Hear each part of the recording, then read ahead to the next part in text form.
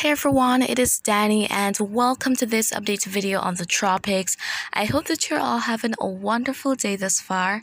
And so in this video, we will be talking about the possibility for us to see development in the Caribbean. So now we have an area that is highlighted by the National Hurricane Center that is to be watched. And so uh, there are other disturbances as well that we will briefly take a look at, but uh, that one in the Caribbean will be the main focus of this video. And so before I go into details, please do subscribe and tap the notification bell so that you never miss an important update.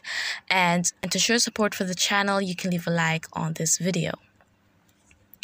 Okay, and so let us go ahead and kickstart things with current satellite view of the basin. And so we're seeing here that uh, there is quite a bit of activity that is noted. There are two tropical waves that are in the region. One has recently entered the Eastern Caribbean and another is out in the main development region. And so uh, let's take a closer look at these various areas. And so here we are seeing the Eastern Caribbean and there is quite a bit of activity going on here. We see a lot of showers and thunderstorms uh, that are affecting some areas such as Puerto Rico and the Virgin Islands and even the ABC Islands as well. And uh, we also see a bit of activity within the vicinity of Trinidad and Tobago and also northern portions of Guyana and in Venezuela. So it is likely that some of these areas are experiencing some inclement weather at this time. And as for most of the Lesser Antilles, though, we're seeing here that things are a little bit more on the quiet side, maybe some passing clouds bringing along with them some showers. So, guys, uh, across Hispaniola, Puerto Rico, the Virgin Islands, uh, Extensive periods of heavy rainfall can result in flash flooding across flood prone areas. So please have that in mind and please do not take any unnecessary risks. And so, guys, now let us go ahead and take a look at uh, what is currently going on in terms of those disturbances. So, we have that first one, Invest 94L. It failed to develop into a tropical or subtropical cyclone. And so, uh, now chances are just completely diminishing for the system to become anything out there. And by the next update in the next two hours, three hours or so, this should be off the radar, at least from the time I'm making this update. And then uh, as for this other disturbance, we have that low pressure area and that is in association with the trough that is inducing all of the activity across portions of the Eastern Caribbean. And so, uh, as we're seeing here, there is a 30% chance that we could possibly see development, and are going to be having that disturbance uh, making its way up to the north and drifting around within that shaded region and we could possibly see it getting itself together.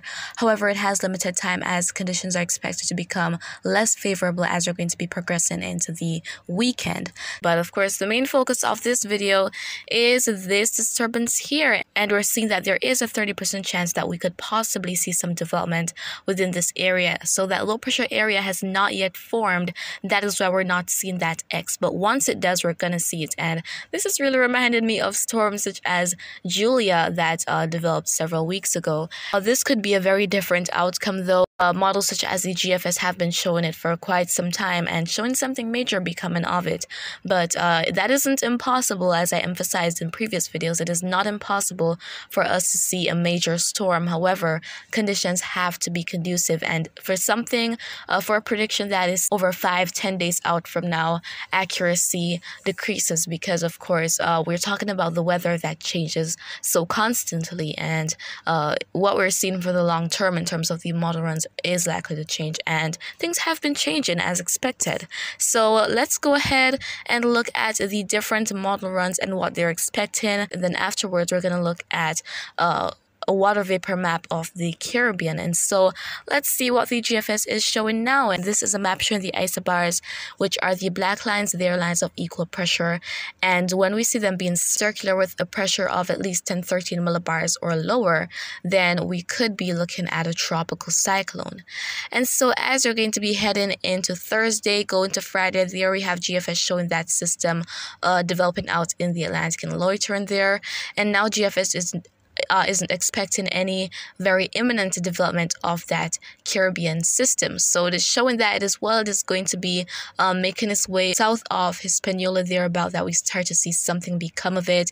And the model has it passing south of Jamaica and making its way to Nicaragua. And take note, the model also shows another system pop up. That is quite interesting, but of course, as I said, not guaranteed to happen. So we're seeing something very different from what was there yesterday uh, with that, that extreme hurricane expected. So, uh, as I said, things are going to be changing.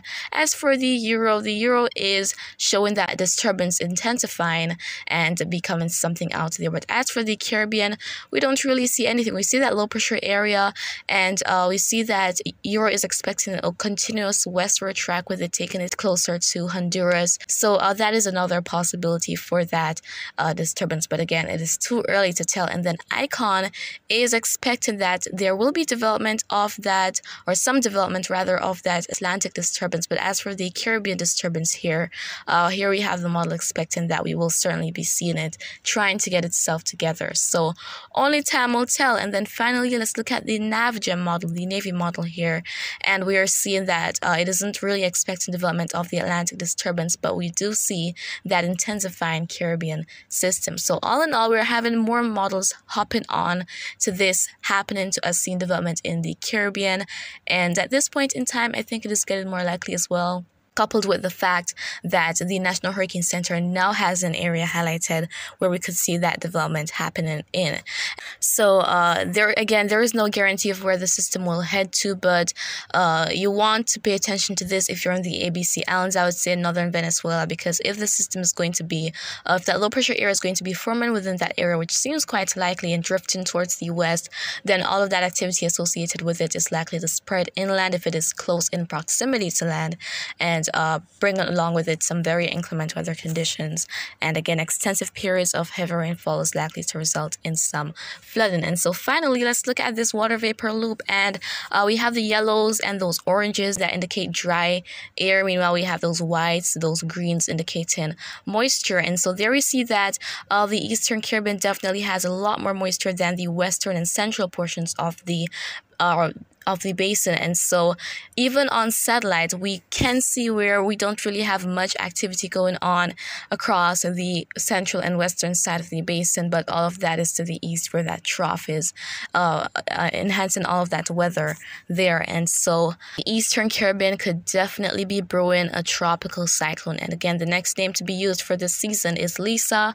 And if we have development of two of these disturbances, meaning the one that is uh, going to be drifting up to the north and possibly developing out in the Atlantic, as well as that Caribbean disturbance. Then the next two names are Lisa and Martin. So uh, both of these are given a 30% chance of possible development during the next five days. So let's see what's going to be happening. But of course, the name doesn't really matter. It is where it's being affected and if persons are prepared. And of course, guys, I'm going to be keeping you posted on that. So that is really it for this update video. And if you have any questions, you can leave them down in the comments and you can also share your thoughts there. And remember to always be with otherwise.